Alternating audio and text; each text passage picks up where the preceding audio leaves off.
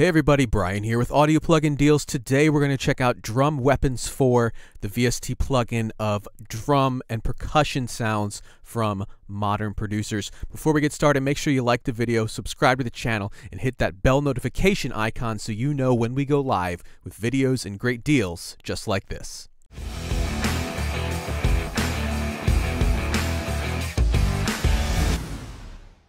So this one's going to be pretty straightforward, guys. There's a few different kits here. Um, so if you click there, this the preset browser, you have some factory kits, and then you have Drum Weapon 2 and Drum Weapons 3 from the previous versions. All those kits are here as well. So mostly I'm going to just keep the same beat and just show you the different sounds that you can get um, because obviously these are going to be mostly uh, hip hop, R&B, and pop type sounds, but there is a lot of versatility in the overall sounds that you can get. So let's check it out. We're going to start with the factory kits and then scroll through.